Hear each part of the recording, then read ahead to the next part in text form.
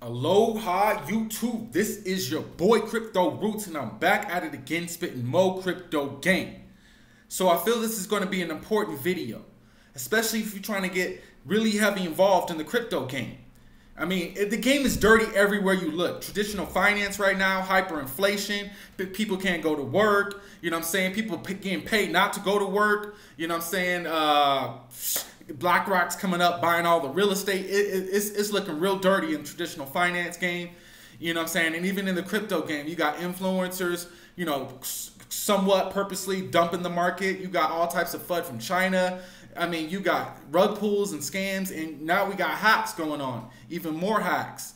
And specifically, they're targeting targeting the NFT community and the uh, designers of the NFT community. So here's an uh, here's a big NFT designer really terrible day. My MetaMask got hacked, and now my FND account is compromised. Opened a scam project proposal with the .scr file and a Microsoft Word icon. Any experience with this before? Trying to figure out what to do. So this person got hacked. Trying to figure out, ran a script with my password, seed phrase got compromised, I restored my window. So I'm gonna leave these links in the description. I don't wanna take up too much of your time, but I do have to go over some of these tweets. So, an NFT designer got hacked. 3D art designer. That's a big deal. That's a big deal to lose your private keys and lose all your NFTs. That's a, that's, that's a career devastating uh, loss right there. And we got another one over here.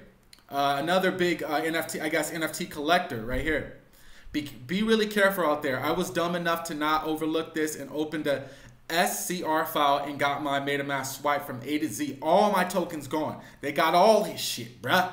NFTs and all. They tried to access my other app, but my two-factor authentication blocked them. I'm an idiot. Uh, don't be like me and secure your shit. So uh, it shows the tweets of what happened, right? Somebody basically uh, manipulated them to open up a project file and then they said, send us your ETH address. Oh no, ETH address, 15 minutes to answer me. Then they switched the whole game up, started acting psychopath right here.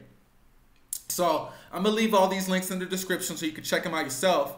But this dude lost 40,000 uh, XS. That's uh, Axes.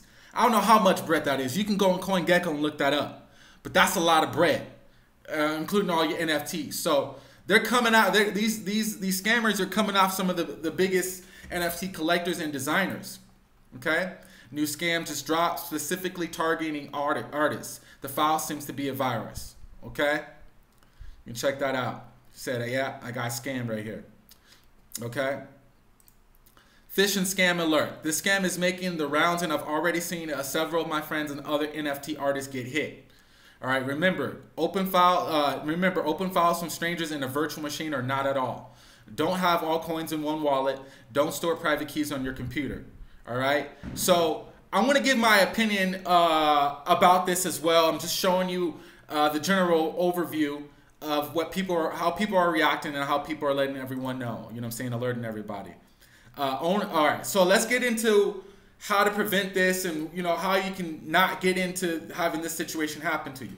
It says owning a hardware wallet does not mean your wallet is secure. Okay so and so had a hardware wallet and the seed phrase uh, was not secured properly. Uh, properly, a digital copy away was on his computer. Your seed phrase needs to be in a code, as in no digital footprint. Okay, and we'll get into all that later. Sorry, I should have had this. Uh... All right, so best practices for securing your wallet. Too long didn't read. Use a hardware wallet. Make sure the seed phrase on your wallet is cold. Test your recovery, have redundancy and security over your seed phrase. Details below. Okay, I'll leave all this down below so you guys can go into detail. All right, about how to how to stay safe. All right, important. Hardware wallets do not stop hacks completely. Once you've downloaded a random executable and your computer is owned, it's possible for the attacker to hijack communications between the computer and the hardware wallet, sending it malicious data for you to sign. Okay? So, as soon as we learned of so-and-so's computer and wallet had been compromised, we helped to secure his assets and minimize the damage. So these guys helped them out. That's the beauty of this whole crypto community is people will do the best they can to have your back if they see you take a loss. You know what I'm saying? I as well. Below is a post-mortem of what we did to help and how you can take precautions to secure your wallet. So, like I said, I'll leave all this below in the description. Now, small thread on the recent hacks to NFT artists and how to prevent it. This is what I really want to go over. First of all, if you are a Linux or Mac user, you are probably savvy on these kinds of stuff. Also, your operating system is built from the grounds based on uh, security. So hardly any attacker will get full access to your computer. This is for Windows users. All right, so this is mainly going to affect you if you use Windows. If you are a Windows user, the first thing you need to do is configure your system to always show file extensions, always no exception. edit this out. So, here, I'll leave all this down below. Here's what I want to get into. Stop using Windows. Start using start using Linux. Start using Linux. Most of this would have been prevented if these people used Linux and took some basic computer science slash programming course to understand what different file extensions are and what they mean and what operating systems they open up on. All right, there's, there's a thing called permissions in computer science, and you can set up different permissions. There's writable, readable, and executable. Okay, executable means it starts the moment you click it. It executes. But some, but if you you can disable that or you can enable it. So let's see if I pull up my Linux right now and go to ls-l all. All right. So you see over here it says RW RW and it shows these are permissions for different users. There's only one user on my computer, but that's read, write, read, write. And I can I don't want to go super into detail, but then this X is executable. So it lets you know what user uh, Linux lets you know and control the different types of permissions you have based on the account you have. All right. So just little things like that, you're gonna it's gonna keep you aware. And Linux is just so much less hackable. Hackers know that majority people who aren't educated on computers use Windows, and therefore you become more of a target. So level up your skills. Hit me up for the programming, uh, you know I'm saying, mentorship, cryptocurrency mentorship. I study cybersecurity, I study cryptography, I study this technology. You know I'm saying? I'm not saying I'm I'm always gonna be safe, but I use Linux for a reason, and I highly recommend it to you. You just lower your lower your attack surface dramatically, dramatically. So stay safe out there. Don't give away your private keys. Don't get into too many rug pulls.